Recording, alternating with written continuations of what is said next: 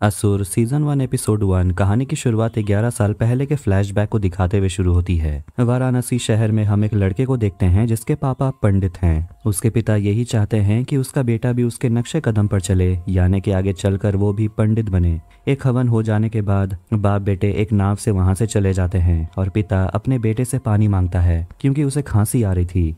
अगले सीन में हम पिता के डेड बॉडी को पानी में देखते हैं फ्लोट करते हुए। इस लड़के में कुछ तो गड़बड़ है। इसके बाद वो लड़का कुछ अघोरी साधुओं के पास जाता है जो उसके चेहरे पर राख लगा देते हैं। उस लड़के के हाथ में एक कटा हुआ उंगली भी होता है। शायद ये उसके पापा का है। तो क्या इसी लड़के ने अपने पापा को मारा? ये जानने के लिए आपको आगे की कहानी सुननी होगी। अब कहानी आती है प्रेजेंट डे में और हम अमेरिका के एफबीआई ट्रेनिंग सेंटर में निखिल नायर से मिलते हैं, जो स्टूडेंट्स को फॉरेंसिक साइंस पढ़ा रहा था। और उसका ये कहना है कि डेड बॉडीज बोलते हैं। कहने का मतलब ये है कि डेड बॉडी से हमें इतने सारे एविडेंस मिल सकते हैं कि उसका यूज़ करके वो ये पता लगा सकते हैं कि किलर कौन था। निखिल पहले सीबीआई के लिए काम करता था। सीबीआई से शशांक अवस्थी उसे बार बार कॉल कर रहा होता है। निखिल का दोस्त अर्जुन उसे मिलने आता है और उसे एक फ़ोटो दिखाता है और उसे डेड बॉडी के कुछ डिटेल्स भी दिखाता है और उसे पूछता है, आखिर ये किलर कौन हो सकता है? कुछ कैलकुलेशन करने के बाद निखिल आखिरकार अंदाज़ा लगाता है कि किलर कौन हो सकता है। इससे हमें ये भी पता चलता है कि निखिल अपने फॉरेंसिक साइंस और क्राइम सॉल्विंग फ़ील्ड में कितना माहिर है। निखिल का मेल भी शशांक अवस्थी के बहुत सारे मैसेजेस से भरा हुआ है, जो चाहते हैं कि निखिल दोबारा से सीबीआई ज्वाइन कर ले। इसके बाद कहानी शिफ्ट होती है न्यू दिल्ली में। हम एक औरत को देखते हैं रेस्टोरेंट के किचन में काम करते हुए। उसका मर्डर हो जाता है, उसे बुरी तरीके से पीटा जाता है और उसके सिर को ओवन के अंदर डालकर जला दिया जाता है। किलर उस औरत के बॉडी को लाकर जंगल में फेंक देता है और कुत्ते उस औरत के डेड बॉडी को नोच खा लेते हैं, क्योंकि किलर बॉडी के ऊपर कुत्तों का खाना रख देता है। ये सीन देखकर आप अंदर से हिल जाओगे। निखिल वापस अपने घर आता है, जहाँ वो अपनी वाइफ नैना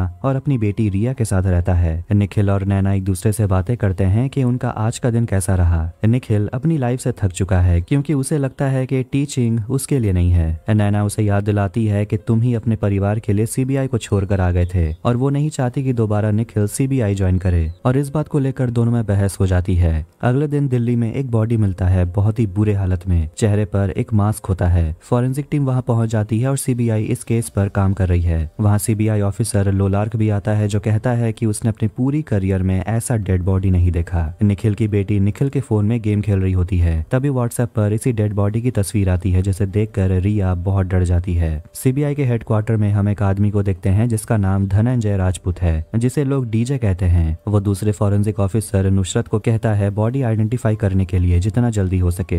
वो अपने ऑफ़िस में आता है जहाँ हम डीजे और उसकी वाइफ संध्या का फ़ोटो देखते हैं और वो अपनी वाइफ संध्या को मैसेज करता है, क्या वो पहुँच गई? जिस पर संध्या रिप्लाई करती है कि वो कल ही पहुँच गई थी। नैना निखिल से बात करती है डेड बॉडी के फ़ोटो के बारे में। उसके फ़ोन में ये फ़ोटो क्या कर रहा था? तो वो उसे बताता है कि कोई है जो उसे डेड बॉडी के लोकेशन के कोऑर्डिनेट्स भेज रहा है और निखिल ये सारी इन्फॉर्मेशन सीबीआई को पास ऑन कर रहा है। नैना उसे पूछती है, क्या तुम नुसरत के साथ भी अभी भी बातें करते हो? निखिल कहता है कि, मैं बस इन्फॉर्मेशन उन्हें पास ऑन कर रहा हूँ, वो भी लोलार्क को। उनकी बातों से लगता है कि पहले निखिल और नुसरत के बीच कुछ तो था। निखिल नैना से कहता है कि उसे सीबीआई में सीनियर पोजीशन ऑफ़र हुआ है, लेकिन नैना गुस्सा हो जाती है और उसे पूछती है, क्या तुम सही में फिर से उस जगह जाना चाहते हो, जहाँ से तुम भाग कर आए थे? नुसरत और डीजे डेड बॉडी का ऑटोप्सी करते हैं और उन्हें ये पता चलता है की ये बॉडी एक फीमेल का है और इसकी उम्र तकरीबन तीस से चालीस के बीच होगी। एक्सरे स्कैन करने पर यह पता चला कि इंडेक्स फिंगर दोनों हाथों के मिसिंग हैं। लेफ़्ट इंडेक्स फिंगर को जैसे तैसे तोड़ दिया गया है तो वहीं राइट इंडेक्स फिंगर को बहुत ही साफ़ तरीके से काटा गया है। इससे डीजे को कुछ याद आता है, वो पुराने मर्डर के फ़ाइल को चेक करने लगता है और उसे पता चलता है कि पहले भी दो ऐसे मर्डर हो चुके हैं, जिनमें डेड बॉडीज के राइट इंडेक्स फिंगर गायब थे।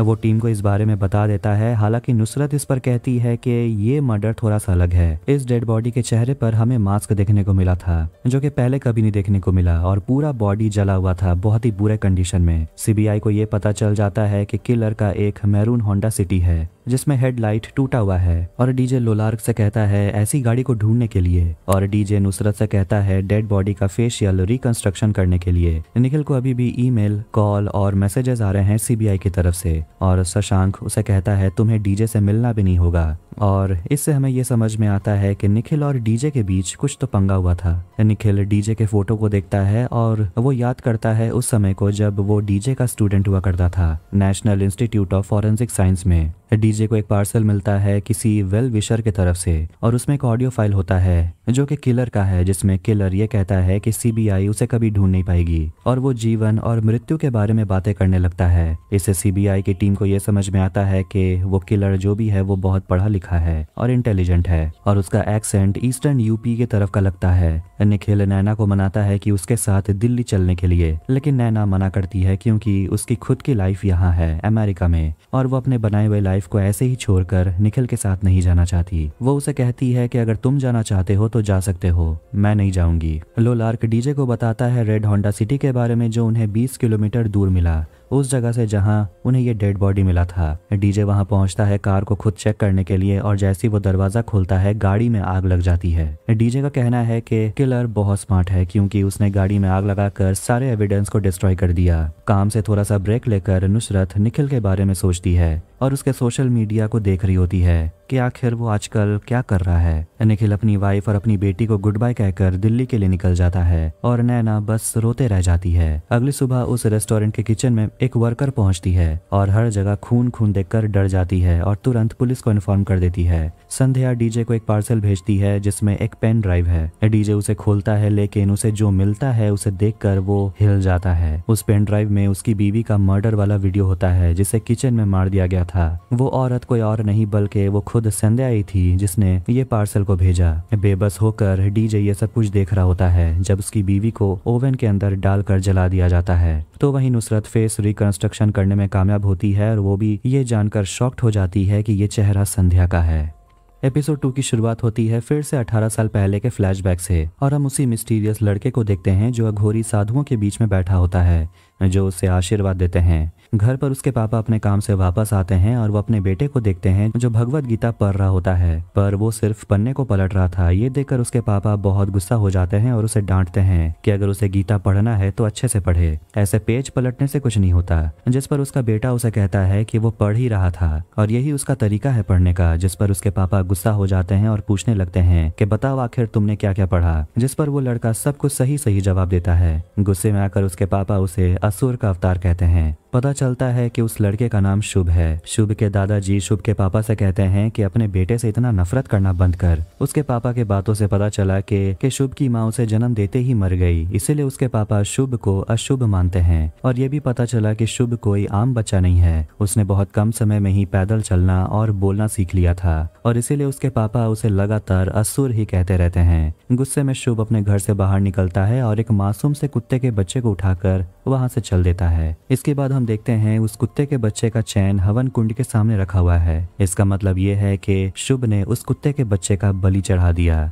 प्रेजेंट डे में सीबीआई की टीम डीजे के घर पहुँच जाती है उसे संभालने के लिए। डीजे उन सभी को बताता है कि आखिर उसके और उसकी बीवी के बीच क्या क्या हुआ था, जिसके बाद लोलार्क वीडियो को चलाता है और सभी उस वीडियो को देखते हैं। दूसरी टीम संध्या के किचन में पहुँचती है और उसी वर्कर को वो इंट्रोगेट करते हैं, जो बताती है कि संध्या का हमेशा झगड़ा होते रहता था उसके पति डीजे के साथ। किलर ने सीसीटीवी कैमरा भी ब्लॉक कर दिया था किचन के अंदर का, और ये किचन पिछले पाँच दिन से बंद था। वीडियो को देखने के बाद उन सभी को ये समझ में आता है कि वो किलर किलर हमेशा एक मास्क पहना हुआ रहता है जो उसे संध्या के बॉडी के पास में मिला और इस मुखौटे का कुछ न कुछ कनेक्शन हिंदू माइथोलॉजी से है। डीजे उन्हें बताता है कि संध्या एक हफ़्ते के लिए बेंगलुरु जाने वाली थी और वो दोनों हमेशा टेक्स्ट करके ही बातें करते थे। डीजे किलर के गले पर एक टैटू नोटिस करता है, जिसके बाद डीजे के बॉस उसे कहते हैं कि तुम्हें चिंता करने की ज़रूरत नहीं है, इसके बाद से हम संभाल लेंगे, तुम आराम करो। अगले सीन में निखिल दिल्ली पहुँच जाता है और वो मर्डर इन्वेस्टिगेशन में डीजे की जगह लेगा। नागालैंड के दीमापुर में एक आदमी आदमी की लाश मिलती है, जिसके पास बिल्कुल वैसा ही मुखौटा मिला है और डेड बॉडी की आँखें भी सील्ड हैं।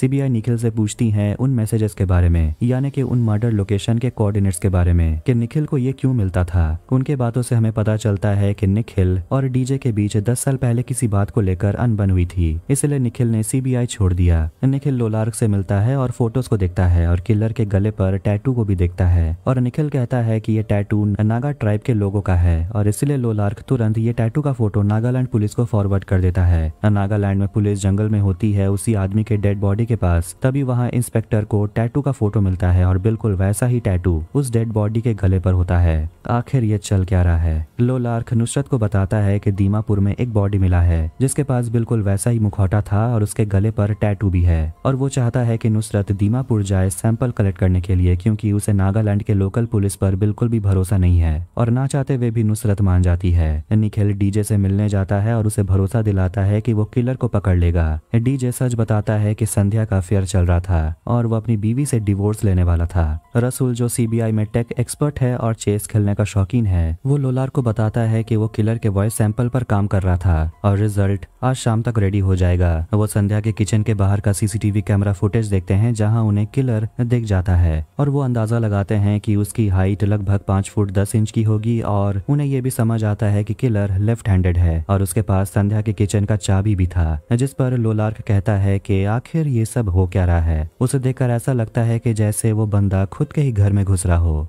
नुसरत अंकित के साथ दीमापुर पुलिस स्टेशन पहुँचती है। दोनों बॉडी को देखते हैं और पुलिस से कहते हैं कि क्या इस बॉडी की पहचान हुई है? वो पुलिस बताते हैं कि इस आदमी का नाम लाल थंजारा है और इसके कई क्रिमिनल रिकॉर्ड्स भी हैं और ये ड्रग एडिक्ट भी है। लेकिन ये देखकर कि वहाँ के पुलिस सैंपल कलेक्ट करने में गड़बड़ कर सकते हैं। नुसरत वहाँ के पुलिस से कहती है कि बॉडी को दिल्ली भिजवाना होगा और वो अंकित से कहती है दीमापुर में ही रहने के लिए ताकि वो यहाँ रहकर लाल के सैंपल को कलेक्ट कर सके।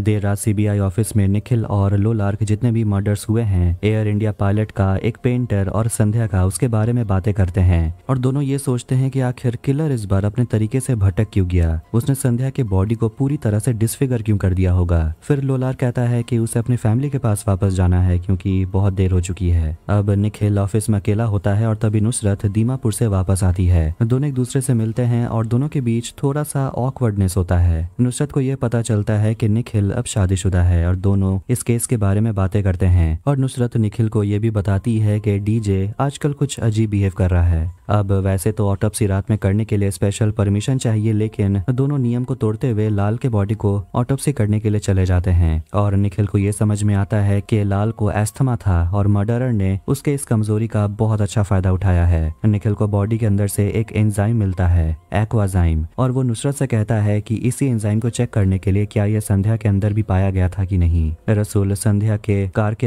जीपीएस को ढूंढता है। लो लार्क रसूल को निखिल से इंट्रोड्यूस करवाता है और निखिल उन्हें बताता है कि किलर के पास संध्या का किचन और उसके गाड़ी दोनों का एक्सेस था। और संध्या के फ़ोन को चेक करने पर रसूल को यह पता चला कि जिस दिन संध्या का मर्डर हुआ था, उसे मैसेजेस आ रहे थे, वो भी बिल्कुल सेम एड्रेस से। और उन्हें शौक लगता है ये सुनकर कि वो मैसेजेस डीजे के तरफ़ से आ रहे थे। रसूल डीजे के फ़ोन को भी चेक करता है, लेकिन उसमें उसे कोई गड़बड़ी नहीं दिखती। दीमापुर में अंकित लाल के घर पहुँचता है पुलिस के साथ सैंपल कलेक्ट करने के लिए। नुसरत निखिल को बताती है कि संध्या के ऑटोप्सी से ये भी पता चला कि उसका लेट एबॉर्शन हुआ था। निखिल को ये समझ में आता है कि संध्या प्रेग्नेंट हो गई थी क्योंकि उसका किसी और के साथ अफेयर चल रहा था और इसीलिए उसने एबॉर्शन करवाया। नुसरत को ये सब डिस्कस करना सही नहीं लगता क्योंकि ये डीजे और संध्या का पर्सनल मैटर है, इसलिए उन्हें इस बारे में बात नहीं करनी चाहिए। दीमापुर से लाल के सैंपल को सीबीआई ऑफ़िस में पहुँचाया जाता है। निखिल लाल के एस्थमा पंप को टेस्टिंग के लिए भिजवाता है। लाल के घर से कुछ पैसे भी मिले हैं। निखिल ऑफिसर से कहता है कि इस नोट में फिंगरप्रिंट जितने भी मिलते हैं, उन्हें जनरल डाटाबेस से चेक करने के लिए और डीजे के फिंगरप्रिंट से भी मैच करने के लिए वो कहता है, क्योंकि हो सकता है डीजे ने ही अपनी पत्नी को मरवाने के लिए उस किलर को पैसे दिए हों। रसुल को यह पता चलता है कि संध्या के कार से जो जीपीएस मिला था, उसके अंदर एक हिडन कैमरा है, जो सीधा डीजे के लैपटॉप से लिंक है। रसुल को यह भी पता चलता है कि जिसने संध्या को मारा और लाल के चलने का चाल बिल्कुल एक समान है, यानी कि वो किलर मर गया। लोलार्क कहता है लाल के ट्रैवल रिकॉर्ड निकालने के लिए, जिससे उन्हें पता चलता है कि लाल हाल ही में दीमापुर से दिल्ली आया था और वापस दीमापुर गया था। निखिल पूरे टीम के सामने अपनी थ्योरी बताता है कि संध्या के मर्डर के बारे में, और उसे ऐसा लगता है कि डीजे ने ही एक कॉन्ट्रैक्ट किलर को हायर किया था, और वो कोई और नहीं बल्कि लाल ही था, ताकि डीजे अपनी बीवी को मरवा सके क्योंकि उसका एक्स्ट्रा मैरिटल अफेयर चल रहा था। निखिल को ऐसा भी विश्वास है कि डीजे लाल से मिला होगा जब नागालैंड वो गया होगा कॉन्फ्रेंस के लिए। डीजे ने अपनी पत्नी को मरवा दिया उसी रात जब वो बेंगलुरु बेंगलुरु के लिए निकलने वाली थी, ताकि संध्या को एक हफ़्ते के लिए कोई मिस न करे। डीजे ने बहुत ही स्मार्टली इस प्लान को बनाया, जो कि पहले हुए मर्डर के पैटर्न से भी मैच करता है, ताकि बाकियों को डीजे पर शक न जाए। और सभी को ऐसा लगे कि संध्या भी उसी सीरियल किलर की शिकार हो गई। इसके बाद डीजे ने लाल के एस्थमा पंप की जगह बारबी टूरेट पंप रिप्लेस कर दिया, जिसके वजह से लाल मारा गया। ये सब कुछ प्लानिंग करने के लिए मेडिकल नॉलेज की ज़रूरत होनी चाहिए, और इसीलिए निखिल को लगता है कि डीजे ही वो मर्डरर था। और जो मर्डरर को पैसे दिए गए थे, उसमें भी डीजे के फिंगरप्रिंट मिले हैं। ये सब सुनकर निखिल के बॉस बहुत कंफ्यूज हो जाते हैं कि अब उन्हें क्या करना चाहिए, क्योंकि उनके लिए डीजे को अरेस्ट करना सबसे कठिन काम है। पर डीजे को अरेस्ट करने से पहले निखिल उसे एक बार बात करना चाहता है। वो डीजे से मिलता है और निखिल डीजे को अपनी थ्योरी के बारे में सब कुछ बताता है। और ये सुनकर डीजे बहुत गुस्सा होता है और कहता है कि उसके खिलाफ एविडेंस प्लांट किया गया है। उसे कोई फ्रेम करने की कोशिश कर रहा है, पर आखिरकार सीबीआई डीजे को अरेस्ट कर लेती है और हम देखते हैं असली किलर को जो सीसीटीवी के ज़रिए डीजे को देख रहा होता है।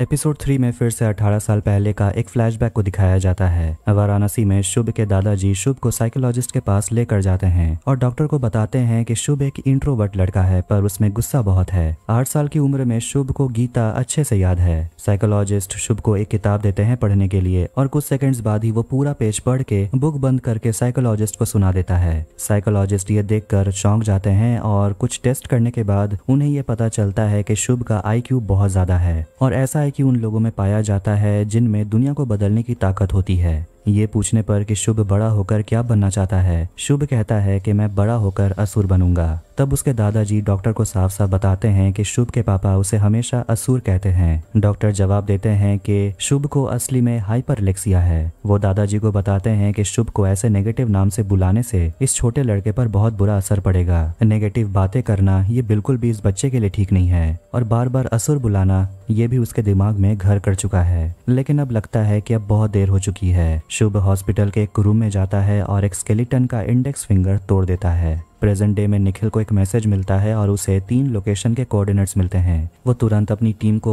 ऑफ़िस में बुलाता है और रसूल काम पर लग जाता है। वो तीन लोकेशंस को ट्रैक करता है जो कोलकाता, गुड़गांव और दिल्ली निकलता है। उसके बाद में वो तुरंत गुड़गांव पुलिस स्टेशन को खबर देते हैं। डीजे को सेंट्रल जेल में बंद कर दिया जाता है और डीजे पेन और पेपर माँगता है, लेकिन जेल में ये सब अलाउड नहीं है। कोलकाता में देखते हैं कि मर्डर हो चुका है। एक गाड़ी के अंदर एक आदमी कार्बन डाइऑक्साइड और कार्बन मोनोक्साइड फेफड़े के अंदर भर जाने के कारण वो मर गया। किलर ने गाड़ी के एग्जॉस्ट पाइप से भी छेड़छाड़ की थी, जिसके वजह से गाड़ी के अंदर ही गैस भर गया था। यहाँ तक कि खूनी ने गाड़ी के लॉक को भी हैक किया था, ताकि आदमी गाड़ी के बाहर ना सके। और ये भी देखते हैं कि खूनी का मुखौटा आदमी के पास रखा हुआ है, और उस आदमी का इंडेक्स फिंगर कटा हुआ है। बिल्कुल पहले मर्डर्स की तरह। निखिल कोलकाता पुलिस को कहता है बॉडी भिजवाने के लिए तो वहीं गुड़गांव में पुलिस को पता चलता है कि वो जो कोऑर्डिनेट्स उन्हें मिली हैं, वो असली में एक कब्रिस्तान का है। कब्रिस्तान में उन्हें बॉडी को ढूंढना काफ़ी मुश्किल होने वाला है। दिल्ली में कोऑर्डिनेट्स एक फैक्ट्री की है, जहाँ ताबूत बनाए जाते हैं। एक टीम वहाँ पर पहुँचती है, लेकिन वहाँ उन्हें कुछ भी अजीब देखने को नहीं मिलता।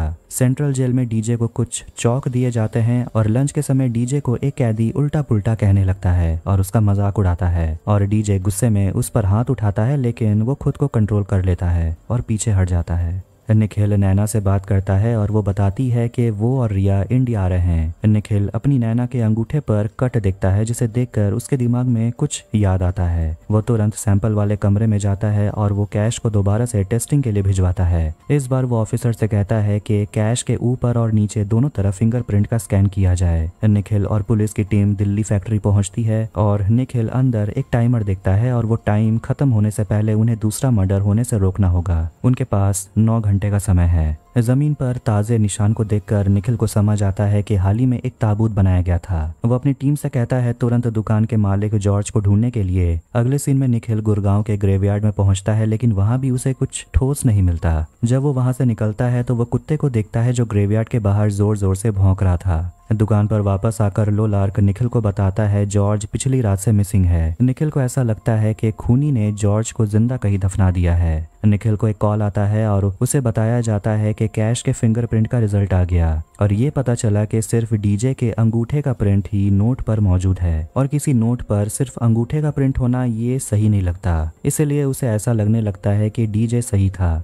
उसे फंसाया गया है। रसूल जॉर्ज के फ़ोन का लास्ट लोकेशन ट्रेस करता है जो कि गुरगांव के कब्रिस्तान से आ रहा है। तभी अचानक से निखिल को याद आता है भौंकते हुए कुत्ते के बारे में, जो कब्रिस्तान के बाहर भौंक रहा था। तब उसे ऐसा लगता है कि कब्रिस्तान के बाहर ही वो कहीं गाड़ी में बंद है। जेल में डीजे खुद केस को सॉल्व करने में लगा हुआ है और बैकग्राउंड में एक वॉइस ओवर होता है, जिसमें ये कहा जाता है कि हर चीज़ किसी न किसी तरीके से कनेक्टेड होती है। और डीजे को बस यही समझ आता है कि सारे मर्डर्स में जो चीज़ कॉमन है, वो यही है कि किलर निखिल को कोऑर्डिनेट्स भेज रहा था और उसे ऐसा लगता है कि ये जो कुछ भी हो रहा है, ये पर्सनल है। वो पुलिस से कहता है कि उसे एक अर्जेंट कॉल करना है। लोलार्क और निखिल कब्रिस्तान के बाहर गाड़ी के पास जाते हैं, जहाँ उन्हें बेहोश जॉर्ज मिल जाता है, जो गाड़ी में बंद था। डीजे निखिल को कॉल करता है और उसे सावधान करता है कि निखिल खतरे में है। डीजे उसे बताता है कि किलर ने ये सब कुछ प्लान किया था, ताकि निखिल वापस दिल्ली आए। निखिल को ये सब कुछ सही लगता है, लेकिन वो फ़िलहाल बहुत ही ज़रूरी काम में बिज़ी है। इसलिए वो डीजे से कहता है कि वो उसे कल कॉल करेगा। डीजे उसे कहता है कि हो सकता है कि कल कभी नहीं आए, लेकिन निखिल कॉल कट कर देता है और वापस चला जाता है। जॉर्ज को होश आता है और वो सब कुछ बताता है कि उसके साथ क्या क्या हुआ। पिछली रात एक मुखौटा पहना हुआ आदमी जॉर्ज के दुकान में आता है और एक आदमी को ज़िंदा ताबूत में बंद कर देता है। उस किलर ने जॉर्ज को भी कहा था, उसका साथ देने के लिए नहीं तो वो जॉर्ज के परिवार को भी मार डालेगा। इसलिए जॉर्ज ने उस किलर का मदद किया और उसके बाद जॉर्ज को भी बेहोश कर दिया गया। जॉर्ज को बस ये याद है कि वो ताबूत नौ फीट लंबा था। जो किसी नॉर्मल ताबूत से दुगना बड़ा है। निखिल सभी से कहता है जाकर कब्रिस्तान में हर एक कोने को चेक करने के लिए, क्योंकि ताबूत के अंदर ऑक्सीजन हर मिनट के साथ कम होते जा रहा है। अब उनके पास सिर्फ़ दस मिनट बचे हैं और तभी तक उन्हें ताबूत नहीं मिला। निखिल ज़ोर लगाकर कुछ सोचने की कोशिश करता है और जबकि ये ताबूत साइज़ में दुगना था। इसका मतलब ये हो सकता है कि खूनी उस ताबूत को घसीट कर ले गया होगा। फिर घसीटने के निशान को वो चेक करने लगता है और आखिर में उन्हें ताबूत मिल जाता है। और जैसे ही वो ताबूत को खोलते हैं, ताबूत के अंदर से कुछ नोकीले चीज़ निकलते हैं, ब्लेड्स की तरह, जो ऑफिसर के गले में लगते हैं। कुछ तो वही मर जाते हैं और जहरीला गैस भी निकलता है, जिससे सभी बेहोश हो जाते हैं। निखिल भी बेहोश हो जाता है। फिर एक प्रोटेक्टिव मास्क पहना हुआ एक आदमी ताबूत से बाहर निकलता है और बेहोश निखिल को एक खुफिया जगह में लेकर चला जाता है। यानी कि उसने निखिल को किडनैप कर लिया है। एपिसोड फोर की शुरुआत होती है वापस से बनारस में और हमें 11 साल पहले का फ्लैशबैक दिखाया जाता है। जैसे कि शो के शुरुआत में हमें दिखाया गया था, शुभ और उसके पापा हवन कर रहे होते हैं और वो तीसरा आदमी कोई और नहीं, बल्कि डीजे था। डीजे अपने पिता के मरने पर उनके अंतिम काम क्रिया के लिए यहाँ पर आया हुआ था। हवन करते समय शुभ के पापा हमेशा खांसते रहते थे और उसे पानी मांगते थे और जब शुभ गुस्से में अपने पापा को घूरता था तो डीजे शुभ को देख रहा था। इसके बाद हमें वो सीन दिखाया जाता है जब शुभ के पापा मर गए थे। थे। डीजे ने बॉडी को देखा और वो काफ़ी चौंक गया था। सामने से जाने पर उसे ये पता चला कि उस पंडित को जहर दिया गया था। वो डूबने से नहीं मरा। डीजे इसके बाद शुभ के पास जाता है और उसे संभालता है और उसे कहता है कि, मैं समझ सकता हूँ कि तुम पर क्या बीत रही होगी। लेकिन शुभ को लगता है कोई फ़र्क ही नहीं पड़ता। शुभ डीजे से कहता है कि वो उसके लिए पूजा पूरा कर देगा और वो डीजे से कहता है अगली सुबह आने के लिए। और ये सब सुनकर डीजे को काफ़ी अजीब लगता है। प्रेजेंट डे में सीबीआई ऑफ़िस में रसूल। कार के रूट को ट्रेस करने की कोशिश करता है सीसीटीवी कैमरा के फुटेज को देखकर।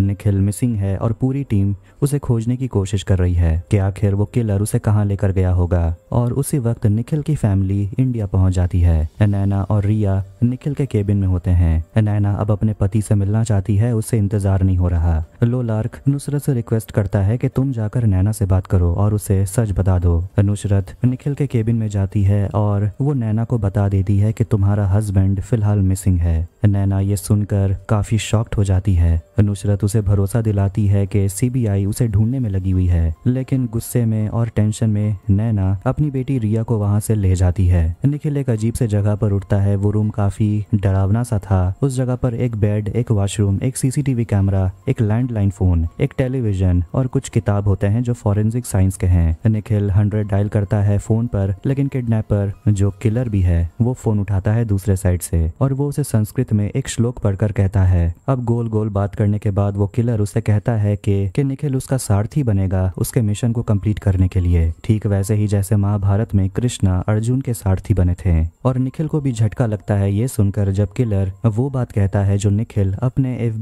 के लेक्चर में कहता था कि डेड बॉडी और डेड में डिफरेंस होता है। लो लार्क सेंट्रल जेल में डीजे से मिलने जाता है और उसे निखिल के किडनैपिंग के बारे में उसे बता देता है। डीजे ये सुनकर विश्वास नहीं कर पाता कि उसका जो डर था वो सही हुआ। डीजे को लगता है कि किडनैपर, निखिल और डीजे दोनों को टारगेट करने का प्लान बना रहा था। लो लार्क, डीजे को पुराने केस फ़ाइल का एक बंडल देता है, जिसमें निखिल और डीजे पहले काम कर रहे थे। दस साल पहले, जेल में डीजे हर केस फ़ाइल को खोलता है और आखिर ऐसा क्या कनेक्शन है जो उन दोनों को जोड़ता है, ये ढूँढने की कोशिश कर रहा होता है। किडनैपर निखिल को खाना भिजवाता है दीवार के एक छेद से, और उसे फ़ोन करता है, लेकिन निखिल गुस्से में खाने को फेंक देता है और टेलीफोन लाइन डिस्कनेक्ट कर देता है। अब किडनैपर के नज़रों से बचने के लिए निखिल वॉशरूम में जाता है और दीवार पर कुछ लिखने लगता है। उसने जो कुछ भी ऑब्ज़र्व किया, जैसे कि किडनैपर की उम्र, उसकी आईक्यू और फिलोसॉफी और माइथोलॉजी पर उसके नॉलेज के बारे में। वो वॉशरूम से बाहर आता है और टीवी पर नैना और रिया का लाइव टेलीविज़न फुटेज देखता है। ये देखकर वो बहुत डर जाता है। वो टेलीफोन लाइन कनेक्ट करता है, लेकिन किडनैपर उसे कहता है कि उसके साथ कोऑपरेट करने के लिए। अगर निखिल अपने फैमिली को सेफ़ देखना चाहता है तो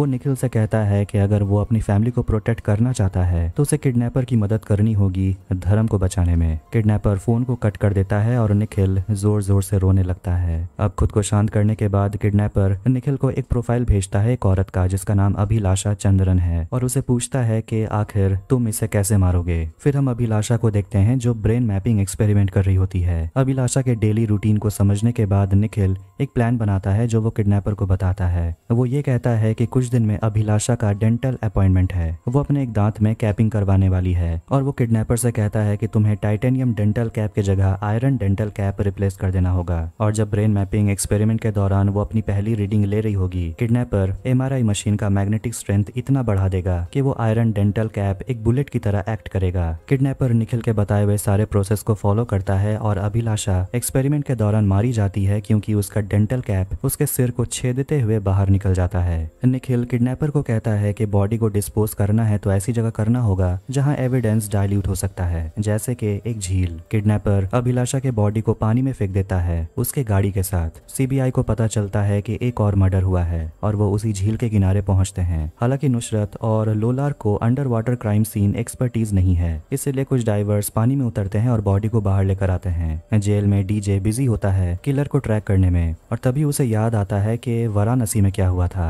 वो अपने अतीत के कुछ इंसिडेंट्स को याद करता है जब शुभ डीजे के साथ हवन को कंप्लीट करता है। डीजे शुभ के ऊपर शक करने लगता है कि हो सकता है कि शुभ ने ही अपने पापा को मारा हो। डीजे शुभ से पूछ लेता है, क्या तुमने अपने पापा को जहर दिया था? शुभ इधर उधर की बातें करने लगता है, लेकिन वो डीजे के सवाल का जवाब नहीं देता। प्रेजेंट में लोलार्क और नुसरत डीजे से मिलने के लिए जेल में जाते हैं और उसकी मदद मांगते हैं अंडर वाटर क्राइम सीन समझने के लिए। ये पूरी तरह से अनऑफिशियल होगा। अब डीजे अपना कपड़ा बदल लेता है और सीबीआई जैकेट पहन लेता है। डीजे लोलार्क से कहता है कि वाराणसी में एक लड़का जेल में बंद है। मुझे उसके बारे में इंफॉर्मेशन चाहिए। नुसरत और लोलार्क में डीजे को लेकर क्राइम सीन में जाते हैं और वहाँ भी वो देखते हैं कि बॉडी का राइट हैंड इंडेक्स फिंगर कटा हुआ है। अब सभी चीज़ों को देखने के बाद कि उन्हें बॉडी की सिचुएशन मिला। डीजे नुसरत से पूछता है, क्या पानी में बर्न ऑयल प्रेजेंट था? नुसरत कहती है हाँ। डीजे तब जाकर बताता है कि इस मर्डर के पीछे कोई और नहीं, बल्कि निखिल है। क्योंकि निखिल और डीजे पहले एक ऐसे केस में काम कर रहे थे, दस साल पहले, और उस बॉडी को भी पानी में डंप कर दिया गया था, बिल्कुल इसी केस की तरह। डीजे को लगता है कि निखिल उन्हें कोई मैसेज देने की कोशिश कर रहा है। असुर सीज़न वन एपिसोड फाइव की शुरुआत होती है वापस से एक फ्लैशबैक से, एक ग्यारह साल पहले वाराणसी में। शुभ को अरेस्ट कर लिया जाता है, क्योंकि उसने अपने पिता को मारा और इस केस पर डीजे काम कर रहा था। जेल में शुभ दीवार पर बहुत बड़े बड़े ड्राइंग्स बनाता है शैतानों का और वो संस्कृत में लिखता है अंत अस्थि प्रारंभ, जिसका मतलब ये होता है कि अंत ही शुरुआत है। इसके बाद वो बहुत सारे माइथोलॉजी के किताबों को पढ़ने लगता है और वो बाकी कैदियों को ज्ञान भी देने लगता है और सभी बिल्कुल मंत्र मुग्ध होकर शुभ की बात बातें सुनते हैं। एक कैदी तो अपना हाथ काट कर शुभ के पैरों पर खून लगा देता है। अब प्रेजेंट डे में नैना देख रही होती है न्यूज़ में कि एक और डेड बॉडी मिला है। नुसरत उसके घर जाती है और उसे कह देती है कि हमें पता चला है कि निखिल ज़िंदा है। नुसरत उसे ये भी बताती है कि अभिलाषा के मर्डर में हो सकता है कि निखिल ही जिम्मेदार है। ये फालतू की बातें सुनकर नैना गुस्सा हो जाती है और विश्वास नहीं करती। एक निर्दोष औरत को मारने के बाद निखिल अंदर से बिल्कुल हिल गया है। वो काफ़ी फ्रस्ट्रेट हो चुका है और काफ़ी गुस्से में होता है। वो किडनैपर से कहता है कि उसे सिगरेट्स चाहिए। लोलार्क अपने बॉस शशांक अवस्थी से परमिशन माँगता है ताकि डीजे उनके साथ इस केस पर काम कर सके। जेल के अंदर से ही। लेकिन अवस्थी उसे कहता है कि इससे हमारे सीबीआई का रेप्यूटेशन खतरे में आ जाएगा। लेकिन लोलार्क अपने बॉस को समझाने की कोशिश करता है कि ये केस काफ़ी सेंसिटिव है और डीजे के अलावा हमारी मदद और कोई नहीं कर सकता। निखिल न्यूज़ में देख रहा होता है कि उस औरत की डेड बॉडी मिल गई है। वो अभिलाषा के फैमिली को भी देखता है और उसकी बेटी फूट फूट कर रो रही होती है। ये सब देखकर निखिल को भी ज़ोर का धक्का लगता है। ऐसा लगता है उसके अंदर कुछ टूट सा गया हो। वो गुस्से में आकर चिल्लाने लगता है और खुद को थप्पड़ मारने लगता है। लोलार्क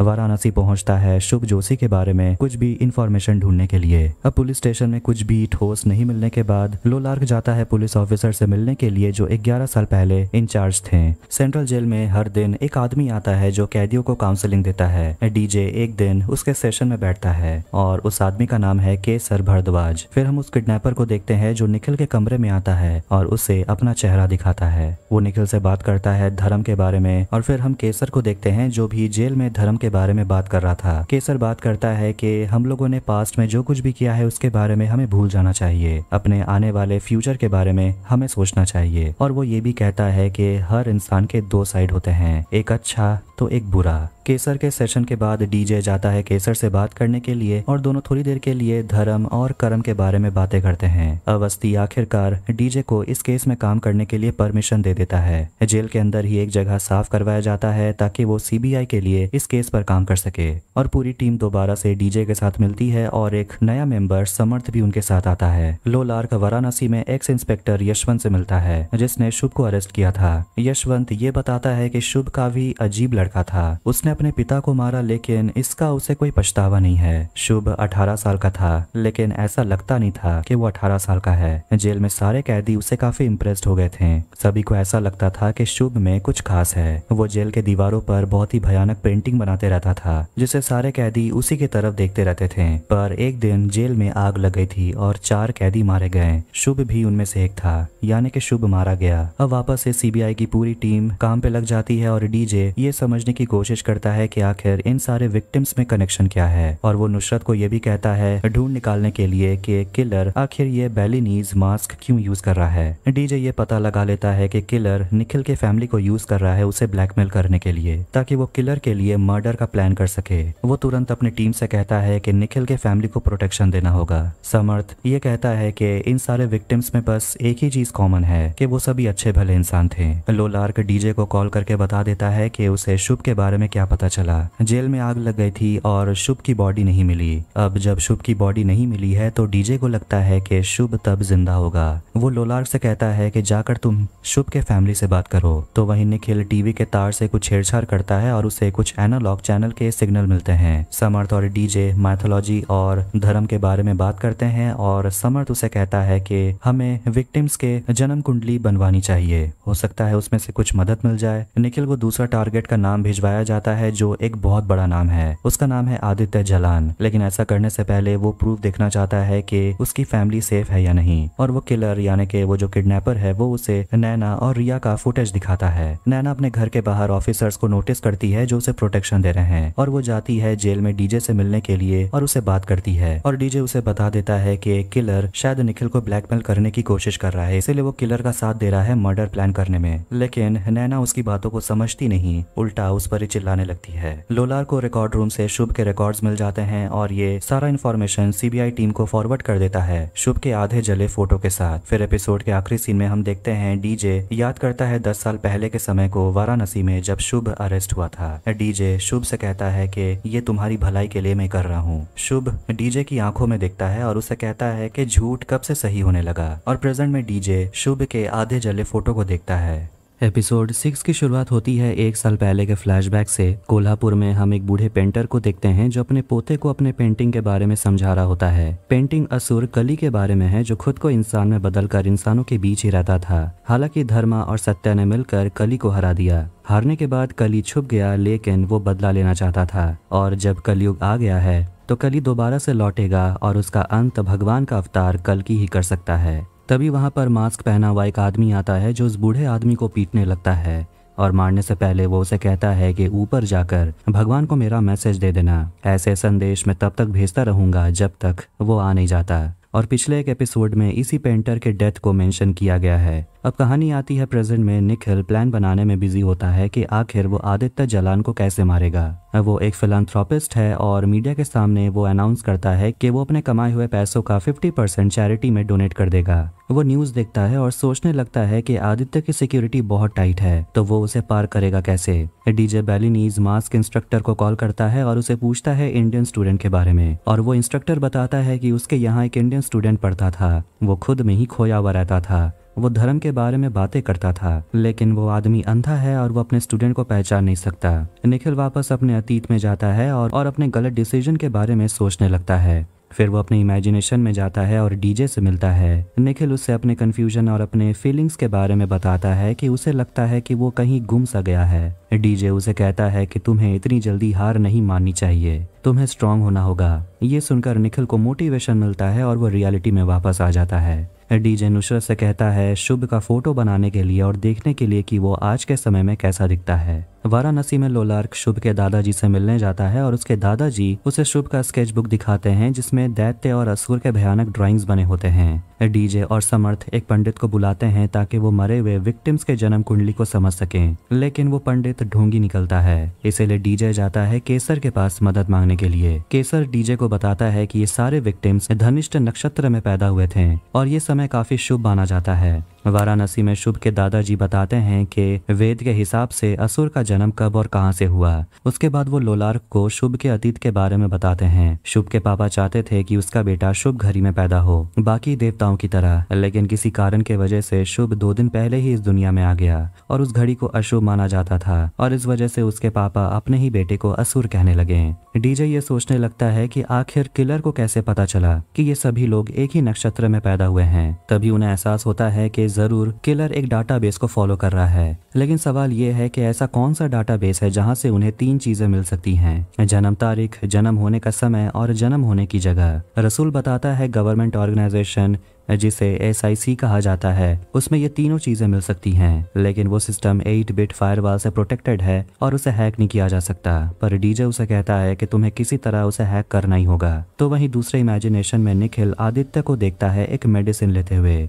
ये देखकर उसे एक आइडिया आता है और समझ जाता है कि वो आदित्य को कैसे मारेगा। वो किडनैपर से कहता है, तीन दिन बाद आदित्य का एंगेजमेंट है। तो वहीं रसूल को बहुत टाइम लग रहा होता है, पर वो डाटाबेस को हैक नहीं कर पाता। इसीलिए डीजे नैना के पास जाता है मदद मांगने के लिए, क्योंकि वो एक सॉफ्टवेयर इंजीनियर है, और नैना ये करने के लिए मान जाती है, और ऐसा इसी डाटाबेस को हैक कर लेती है। निखिल दोबारा से टेलीविज़न के तारों को छेड़छाड़ करता है, और उसे एक एनालॉग सिग्नल मिलता है, जहाँ पुलिस वॉकी टॉकी पर बात कर रहे थे। ये देखकर वो खुश हो जाता है। इसके बाद वो कुछ फॉरेंसिक साइंस की किताब को पढ़ने लगता है। लोलार्क डीजे को कॉल करके बता देता है कि शुभ के बारे में क्या क्या पता चला और उसे शुभ का स्केच बुक भी मिला है। सीबीआई ये समझने की कोशिश करती है कि किलर का अगला टारगेट कौन होगा। डाटाबेस में वो नामों को देखते हैं और डीजे को आदित्य जलान का नाम देखकर उसे कुछ महसूस होता है और उसे लगता है कि शायद आदित्य ही अगला टारगेट होगा, क्योंकि फ़ेमस लोगों को मारकर ही वो ज़्यादा लोगों में अपने आइडियोलॉजी को फैलाना चाहता है। इसलिए उसके लिए आदित्य जलान सबसे परफेक्ट टारगेट है।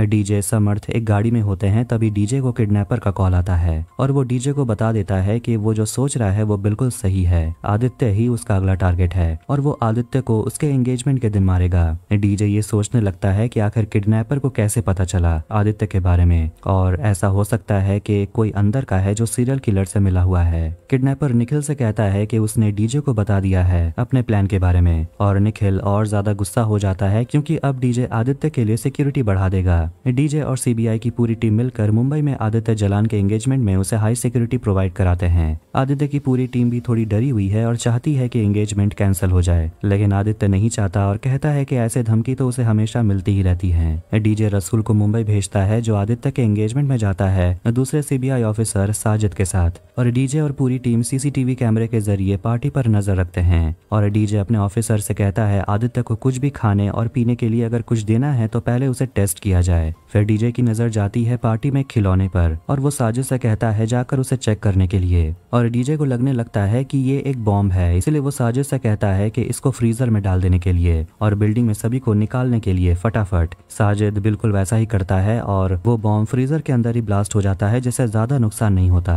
तो वहाँ मौजूद सभी लोग साजिद की दिलेरी के लिए ताली बजाते हैं, क्योंकि उसने आदित्य की जान बचा ली। लेकिन डीजे को अभी भी कुछ गड़बड़ लगता है और निखिल को पहले से ही पता था ये सब कुछ होने वाला है। और ये निखिल का असली प्लान तो था ही नहीं। उसका असली प्लान अब स्टार्ट होता है। वहाँ पर लाइट चली जाती है और जब लाइट वापस आता है तो आदित्य ज़मीन पर पड़ा होता है। वो मर चुका है। वहाँ सीरियल किलर का मास्क भी होता है और आदित्य को देखकर ऐसा लगता है कि उसे जहर दिया गया है। एपिसोड सेवन में कहानी जाती है दस साल पहले। अपने पिता को मारने के जुर्म में शुभ जेल में होता है और निखिल उससे मिलने आता है, लेकिन शुभ उससे असुर के बारे में बात करने लगता है कि कैसे देवता उन्हें तंग करते थे और उसे माफ़ी माँगता है कि तुम्हारे साथ जो कुछ भी हुआ, ये बहुत गलत है। लेकिन शुभ कहता है कि इस समय डीजे की गलती है, तुम्हें माफ़ी मांगने की ज़रूरत नहीं है। निखिल शुभ से कहता है कि तुमने जो कुछ भी किया है, उसे कबूल कर लो। तुम्हें यहाँ से जुवेनाइल सेंटर में ट्रांसफ़र कर दिया जाएगा। लेकिन शुभ खुद को शांत रखकर ये कहता है कि वो माफ़ी कभी नहीं मांगेगा। निखिल जब वहाँ से निकलने वाला था तो शुभ उसे कहता है, शीघ्र ही आपसे मुलाकात होगी।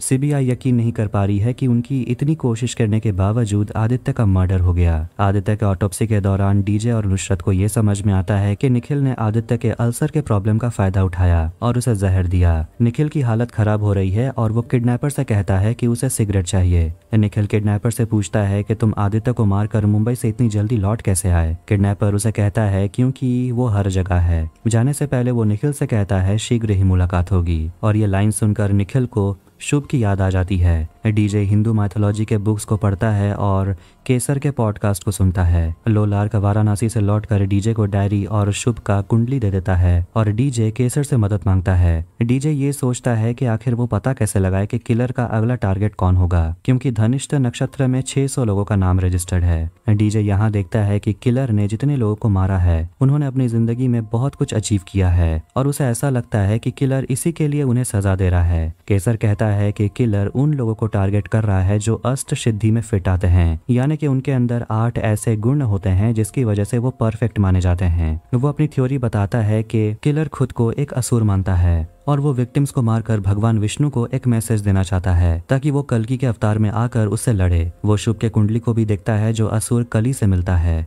निखिल अपने इमेजिनेशन में नुसरत को देखता है, जो उसे माफ़ी मांगती है, कि वो उसे दस साल पहले छोड़कर चली गई, बिना कुछ कहे। वहाँ वो नैना को भी देखता है, जो कहती है कि जब भी उसे निखिल की ज़रूरत होती है तो वो वहाँ नहीं होता। नुसरत निखिल से पूछती है, क्या तुम मुझसे प्यार करते हो? निखिल कहता है की वो करता है। और जैसी वो नैना को गले लगाता है, वो रियलिटी में वापस आ जाता है और वो किडनैपर से कहता है कि उसे नैना को कॉल करना है। अब एसआईसी सर्वर को लोड होने में बहुत टाइम लगता है और डीजे और टाइम बर्बाद होते हुए नहीं देख सकता। इसलिए वो कहता है कि उन्हें ये सर्वर बंद करना होगा कुछ समय के लिए। सीबीआई के लिंग्विस्टिक डिवीज़न में लोलार्क अपने सीनियर को केसर का पॉडकास्ट सुनाता है और केसर का लाइव स्पीच रिकॉर्डिंग भी दोनों सुनते हैं और वो सीनियर ये बताते हैं कि पॉडकास्ट और लाइव स्पीच लिंग्विस्टिकली मैच नहीं कर रहा, क्योंकि केसर का डायलेक्ट, पंक्चुएशन डिक्शन और शब्दों का चयन पॉडकास्ट और लाइव स्पीच में बहुत अलग है। इसका मतलब ये हुआ कि इन दोनों में से एक केसर का आवाज़ नहीं है। डीजे और शशांक दिल्ली में होम सेक्रेटरी के ऑफ़िस जाते हैं और रिक्वेस्ट करते हैं कि उन्हें एस सर्वर को बंद करना होगा, कुछ ही समय के लिए। लेकिन सेक्रेटरी उन्हें ये सलाह देते हैं कि अगर ऐसा है तो आपको अगले टारगेट्स के लिए सिक्योरिटी बढ़ा देनी चाहिए। वो सर्वर को बंद नहीं करने वाले। ये सब सुनकर डीजे काफ़ी गुस्सा होता है और कहता है कि उन्हें तो बस रूल्स को फॉलो करना है, चाहे उसके लिए लोग जिए या मरे। इन्हें उनसे कोई फ़र्क नहीं पड़ता।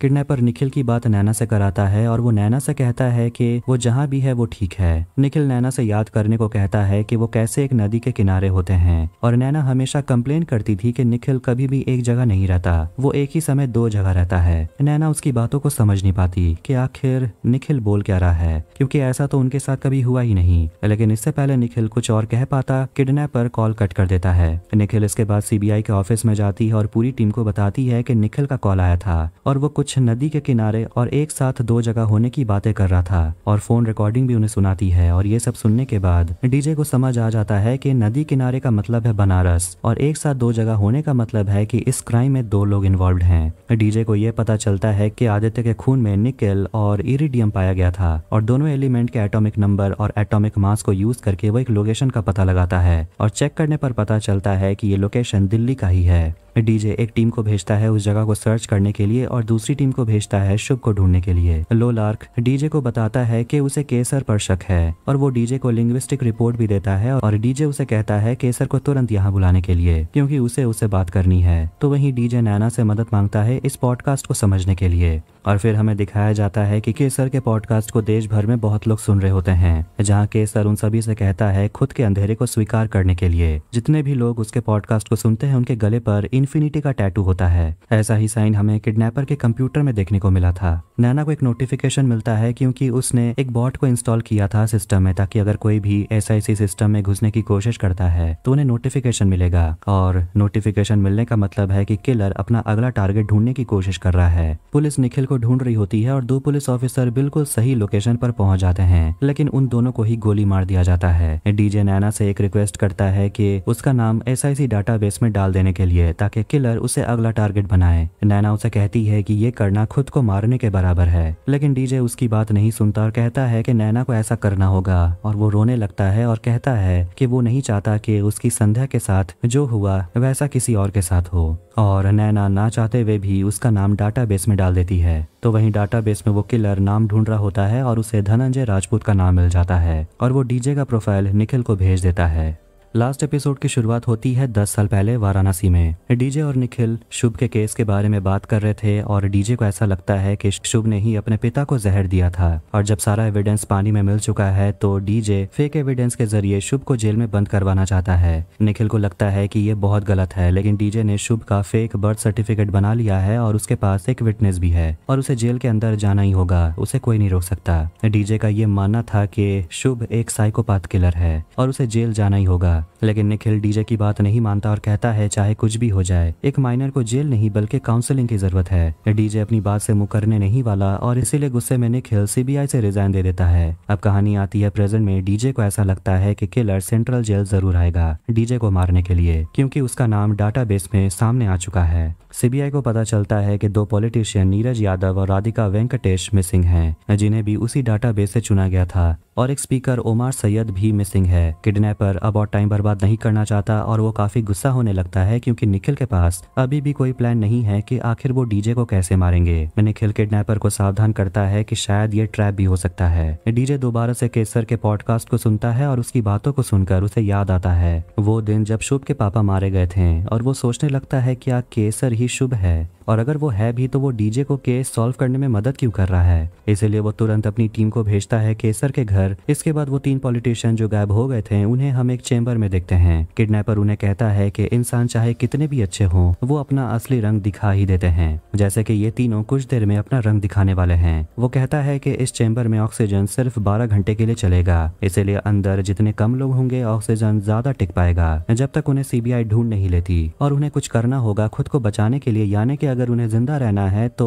उन तीनों में से किसी को तो मरना होगा। सीबीआई को पता चलता है कि केसर 24 घंटे से अपने घर नहीं लौटा और बैकग्राउंड चेक करने पर पता चला कि केसर का बर्थ सर्टिफिकेट नकली है। उसके फैमिली का भी कोई रिकॉर्ड नहीं है। यहाँ तक कि 2008 से पहले तक उसका कोई रिकॉर्ड है ही नहीं। लोलार्क रसूल के हाथ पर एक जला हुआ निशान देखता है, इसलिए उसे रसूल पर शक होने लगता है। रसूल कहता है की ये दाग उसे बचपन में ही मिला। निखिल खुद को नुकसान पहुँचाने लगता है और अपने नाक से खून निकाल लेता है और किडनेपर से कहता है की उसे दवाई चाहिए और एक गिलास पानी। तो वही किडनेपर सेंट्रल जेल में घुसता है अपने प्लान को अंजाम देने के लिए, यानी कि डीजे का मर्डर करने के लिए। राधिका, नीरज और उमार घबराने लगते हैं क्योंकि अब सिर्फ़ आठ घंटे ही बचे हैं। तो वहीं डीजे को याद आता है कि केसर फिटबिट पहनता है और नैना की मदद से वो केसर के फिटबिट का पता लगा लेते हैं। लोकेशन को फॉलो करते हुए रसूल और लोलार्क केसर को पकड़ लेते हैं और उसे देखकर लगता है कि उसे जरा भी फ़र्क नहीं पड़ता। वो खुशी खुशी सीबीआई के साथ चला जाता है। लोलार को एक लीड मिलती है और उसके लिए उन्हें गुड़गांव जाना होगा। रसूल भी कहता है कि वो भी उसके साथ जाना चाहता है।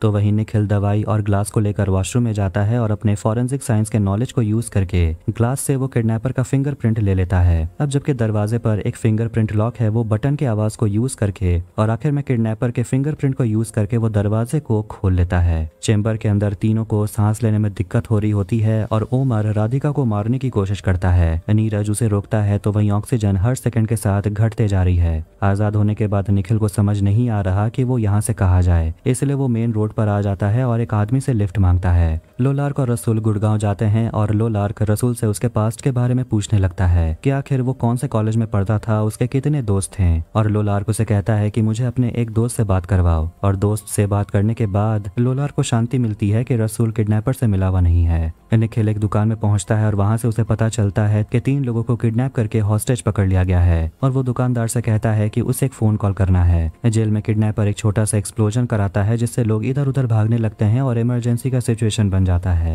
निखिल जेल में कॉल करता है उन्हें सावधान करने के लिए कि डीजे की जान खतरे में है। लेकिन सारे ऑफिसर लोग इमरजेंसी सिचुएशन को संभालने में बिज़ी हैं तो वहीं डीजे बाहर धुआँ देखता है और तभी किडनैपर उसके रूम में एंटर करता है, लेकिन डीजे सीबीआई ऑफिसर है और वो उसे लड़ता है और आखिर में वो किडनैपर को चेयर से बाँध देता है। शशांक केसर को इंट्रोगेट करते हैं और उसे शुभ नाम से पुकारते हैं। तो वहीं यहाँ हमें पता चलता है कि वो किडनैपर असली में शुभ नहीं है, बल्कि वो शुभ के कल्ट का एक सदस्य है। तो वहीं उन तीन पॉलिटिशियन को चेंबर में बंद करके रखा गया है। उसे लाइव टेलीकास्ट किया जाता है। डीजे केसर को सेडेटिव देता है और उसे पूछता है कि तीन पॉलिटिशियन कहाँ है। लोलार्क और रसुल किडनैपर के ठिकाने पर पहुँच जाते हैं, जहाँ निखिल को किडनैप करके रखा गया था। वहाँ उन्हें बहुत सारे सीसीटीवी फुटेज देखने को मिलती है और रसुल के बैग से एक डायरी गिर जाता है। लोलार्क डायरी को उठाता है, जिसमें बिल्कुल वैसे ही ड्रॉइंग्स होते हैं, जैसे उसने शुभ के डायरी में देखा था। तभी वहाँ रसूल अपना असली रंग दिखाता है और लोलार्क पर हमला करता है। चेंबर में ऑक्सीजन खत्म होने को है, इसलिए ओमर राधिका को मारने की कोशिश करता है। तो वहीं निखिल न्यूज़ में उन तीनों को देखकर ये समझ जाता है कि उन्हें एक केमिकल फैक्ट्री में बंद करके रखा गया है। वो तुरंत सीबीआई को इस बारे में कॉल करता है और उन्हें बता देता है। डीजे केसर से पूछता है कि आखिर वो केमिकल फैक्ट्री कहाँ है? जहाँ उन तीनों पॉलिटिशियन को बंद करके रखा गया है। केसर का कहना है कि वो अपना मुँह तभी खोलेगा जब डीजे अपने पापों के लिए पश्चाताप करेगा और उनका सामना करेगा। रसूल लोलार्क को चेयर से बाँध देता है और उसे लाइव वीडियो दिखाता है, जहाँ डीजे केसर को इंट्रोगेट कर रहा था। डीजे सबके सामने ये कबूल करता है कि उसने शुभ को जेल भिजवाने के लिए नकली एविडेंस प्लांट करवाया। केसर उसे तीन गोली देता है। उसे अगर जवाब चाहिए तो उसे तीन गोली खाने होंगे। नुसरत मना करती है, लेकिन डीजे फिर भी गोली खा लेता है। केसर उसे बता देता है कि वो केमिकल फैक्ट्री कहाँ है। डीजे तुरंत निखिल को कॉल करता है और उसे ये बता देता है कि वो केमिकल फैक्ट्री आखिर कहाँ है। लोलार को उसकी बीवी का कॉल आता है और रसूल उसे बंदूक की नोक पर पकड़कर उसे बात करने के लिए देता है और लोलार्क इमोशनल होकर अपनी पत्नी को हमेशा के लिए अलविदा कह देता है। दवाई खाने का असर दिखने लगता है डीजे पर और इस वजह से नुसरत एक एंबुलेंस रेडी करके रखती है। डीजे दूसरा गोली ले लेता है और केसर उसे बता देता है कि केमिकल फैक्ट्री के कौन से चेंबर में वो तीनों बंद हैं। अब दवाई के वजह से डीजे को सांस लेने में और देखने में भी प्रॉब्लम हो रही थी। किसी तरह डीजे निखिल को कॉल करता है और उसे लोकेशन बता देता है। निखिल तुरंत केमिकल फैक्ट्री पहुँच जाता है और देखता है ओमर राधिका को मारने की कोशिश कर रहा था। वो दरवाज़ा खोलने की कोशिश करता है लेकिन नहीं खोल पाता। तभी वहाँ बैकअप टीम नैना के साथ पहुँचती है। निखिल और नैना एक दूसरे को गले लगाते हैं।